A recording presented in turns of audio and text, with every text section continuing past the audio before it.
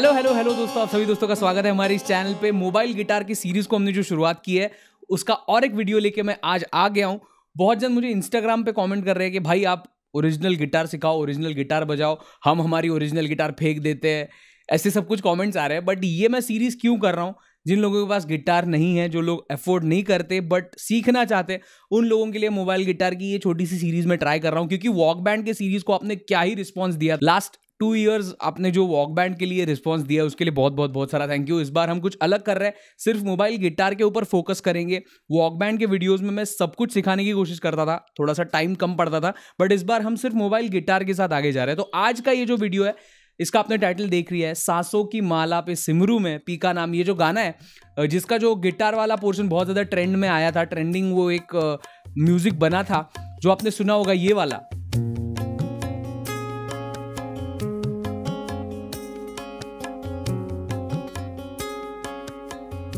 तो ये म्यूज़िक जो बजाया गया था, ये आज हम ट्राई करेंगे मोबाइल गिटार के साथ बजाने की कोशिश करेंगे। बट मोबाइल गिटार पे आपको भी पता है, हम अभी तक जितने वीडियोस देख रहे थे, उसमें हम ये ऐसे कॉर्ड्स बजा रहे थे।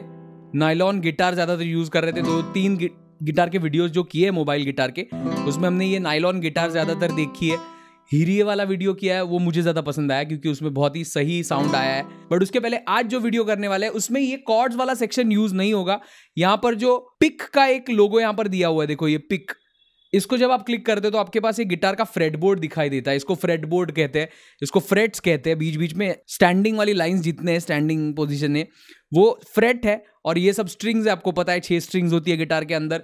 जो मेरे दोस्त अफोर्ड नहीं कर पाते गिटार को तो इसके साथ आप आगे जा सकते हो। इसके साउंड के साथ मतलब साउंड को सुन सुन के आप समझ सकते हो कि ये ये ई स्ट्रिंग ऐसे बजती है सी मेजर कॉर्ड ऐसे बजता है। ये सब आप साउंड के साथ सीख सकते हो और आपके ओरिजिनल गिटार के ऊपर अकोस्टिक गिटार के ऊपर इलेक्ट्रिक गिटार के ऊपर आप बजा सकते हो बाद में। तो आज जो हम सीखने वाले हैं, ये सांसों की माला का जो गिटार वाला सेक्शन जो बजाया गया है, बहुत ज़्यादा ट्रेंडिंग था, वो आज हम सीखने की कोशिश करेंगे। सो so बेसिकली आपको गिटार सही से दिख रहा होगा अभी। यहाँ पर आपको भी समझ में आ गया फ्रेट है फ्रेट बोर्ड है ये ये जहाँ से ट्यूनिंग कीज कहते हैं, ये इसके ऊपर होती है और इसके नीचे से पूरा ये फ्रेट बोर्ड चालू हो जाता है। सो so यहाँ पर मैंने सबसे पहले सस ऑप्शन ऑन कर दिया, यानी सस्टेन ऑन कर दिया, मैंने लास्ट वीडियो में भी बताया था। तो यहाँ पर जो म्यूज़िक स्टार्ट होता है वो थर्ड फ्रेट के ऊपर से थर्ड स्ट्रिंग पे वन टू थ्री ये थर्ड स्ट्रिंग से यहाँ पर से अपना म्यूज़िक चालू होने वाला है। सो so ये ऐसे होगा।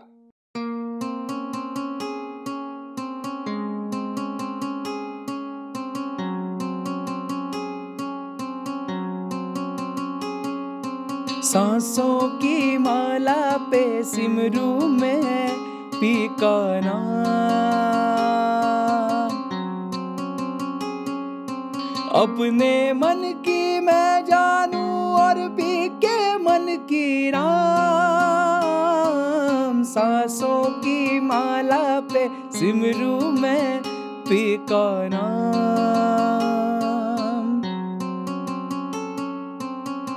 ऐसे टाइप से आप बजा सकते हो।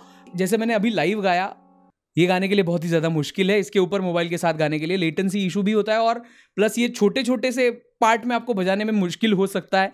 वैसे आप मल्टी ट्रैक्स इनके अंदर रिकॉर्ड करके गा सकते हो बट यहाँ पर मैं आपको नोट्स दिखाता हूँ क्या क्या बजा है। उसके बाद में मल्टी ट्रैक्स इनके अंदर जाके वो रिकॉर्ड करके भी दिखाऊँगा आपको।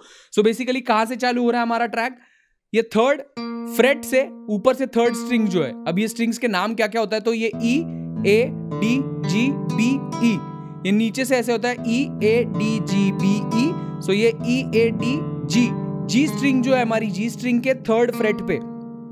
सबसे पहले हिट करना है। जी स्ट्रिंग की थर्ड फ्रेट फिर सेकेंड स्ट्रिंग के ये दो नोट्स ये हमें याद रखने क्योंकि ये दो नोट्स हर बार लगते ही रहेंगे, हर बार लूप में ये दो नोट्स बजेंगे ही बजेंगे। सो ये होगा। अभी जो फ़र्स्ट स्ट्रिंग है ऊपर की, सबसे टॉप वाली स्ट्रिंग उसकी जो फोर्थ फ्रेट है, उस पर आपको हिट करना है।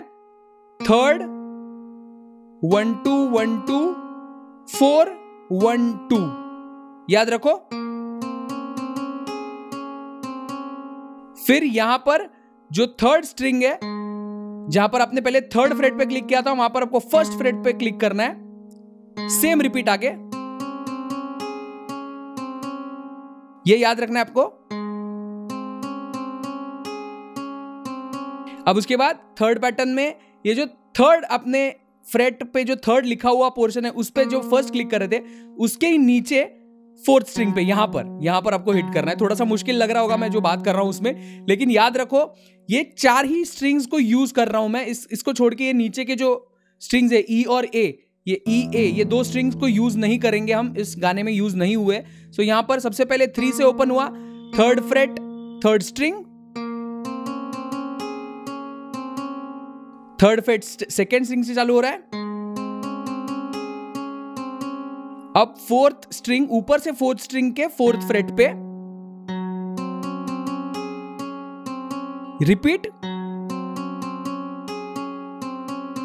अब इसका जो रिदम पैटर्न है, वो आपको ध्यान में रखना है, यानी one two three two two three one two three two two three इस रिदम पैटर्न में जाएगा यानी इसको थ्री फोर कहते हैं। रिदम पैटर्न के बारे में या मेट्रोनम कैसे जाता है या बीपीएम क्या होता है एग्जैक्टली exactly, इस सब के ऊपर मैंने एक डिटेल में वीडियो किया है जिसपे बहुत अच्छा रिस्पांस अभी तक आ रहा है। आई थिंक दो साल पहले का वीडियो है वो बट उस पर बहुत ही कमाल का रिस्पांस आ रहा है। वो अगर आपको देखना है तो इन्फॉर्मेशन बटन में लिंक मिलेगी। डिस्क्रिप्शन में भी वो लिंक में डाल के रखूँगा। उसमें आपको ये सब three four four four six eight seven eight ये एक्जैक्टली होता क्या है? ये टर्म्स कैसे होते हैं? ये आपको वहाँ पर पता चलेगा। मल्टी ट्रैक सिंथ के अंदर हमें जाना है। देखो बैक करूँगा मैं। यहाँ पर बहुत सारे ऑप्शन है। इसमें मल्टी ट्रैक सिंथ है। जो लोग मेरे वॉक बैंड वाले दोस्त हैं, उनको ये मल्टी ट्रैक सिंथ अच्छे से पता होगा। जिनको नहीं पता है, उनको बता रहा हूँ। मल्टी ट्रैक सिंथ पे क्लिक करेंगे। न्यू सॉन्ग पे क्लिक करेंगे। यहाँ पर आपको कुछ इंफॉर्मेशन करेक्ट करनी होती है। अगर आपका गाना फोर फोर में है, यानी फोर बाय फोर है तो ये ऐसे ही रखना है। बट ये गाना हमारा थ्री बाय फोर है। सो हम इसको चेंज करेंगे। थ्री बाय फोर पे क्लिक करेंगे। मेजर्स जो है वो हमारे थर्टी बार्स, हमें थर्टी बार्स बजाने के लिए मिलेंगे। जितने लंबे बार्स, उतने बजाने के लिए आसान होने वाला है। और बीपीएम जो है, वो अभी के लिए हम 120 या 130 सिलेक्ट करके छोड़ देंगे। 130 सिलेक्ट करते हैं। ओके करेंगे। अभी यहाँ पर तीन लाइंस पे हमने क्लिक किया और मेट्रोनेम को सबसे पहले ऑन किया। मेट्रोनेम पे देखेंगे कि भाई जो मेट्रोनेम बज रहा है वो थ्री फोर का है या नहीं। Let's see one two three two two three one two three two two सांसों की माला पे सिमरू में पी का नाम। तो ये सही है मेट्रोनिम सही जा रहा है। इसको स्टॉप करेंगे एंड पे लेके आएँगे। अभी यहाँ पर प्लस पे सबसे पहले क्लिक करना है प्लस और जो हमने गिटार सिलेक्ट की थी, वो गिटार यहाँ पर आ गई है। अगर आप चाहते हो कि भाई दूसरा साउंड गिटार का देखना है तो आप स्टील स्ट्रिंग गिटार भी ट्राई करके देख सकते हो। मुझे थोड़ा सा हार्श लगता है ये साउंड देखो कैसे लगता है।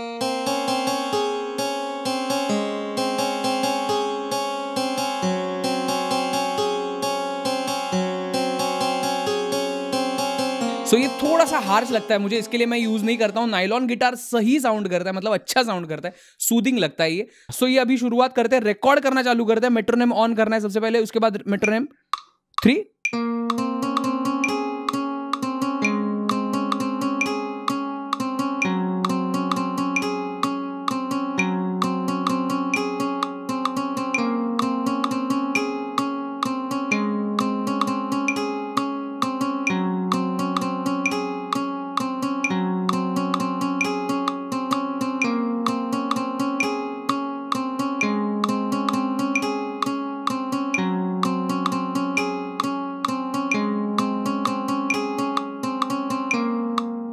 सो यहाँ तक ही रिकॉर्ड करते हैं क्योंकि इसके बाद ये कट हो जाएगा। तो ये दो बार हमने पूरा लूप रिकॉर्ड किया है। यहाँ पर देखो ये पूरा लूप दो बार रिकॉर्ड होके आ गया हमारे हाथ में। अभी हम इसके साथ गा के देखते कैसे लगता है।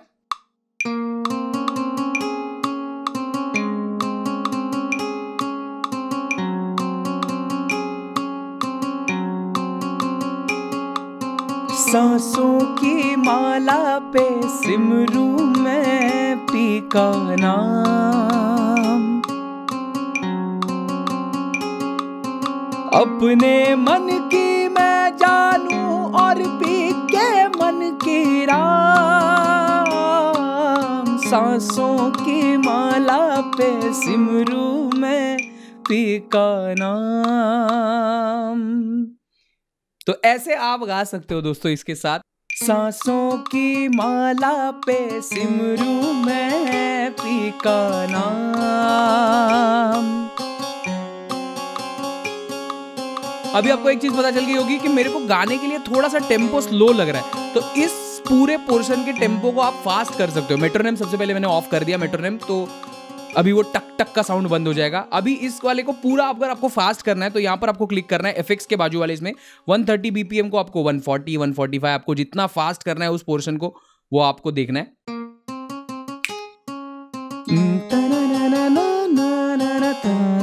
अभी फास्ट हो गया, देखो। ए मैं रंग रंगीली दीवानी ए, मैं अलबेली, मैं मस्तानी। गाऊं बजाऊं, सबको रिझाऊं, ए, मैं बीज सनम पे। ऐसे आप गा सकते हो। अभी मुझे गाने के लिए दिक्कत हो रही थी क्योंकि इसका साउंड बहुत ज़्यादा हैवी आ रहा है। आपको सुनाई दे, इसके लिए मैं हैवी रिकॉर्ड कर रहा हूँ इसको। तो बेसिकली ये ऐसा सब कुछ है। आप बाद में इसको एंड में, यहाँ पर देखो सेव एडिटिंग पे ओके कर दो।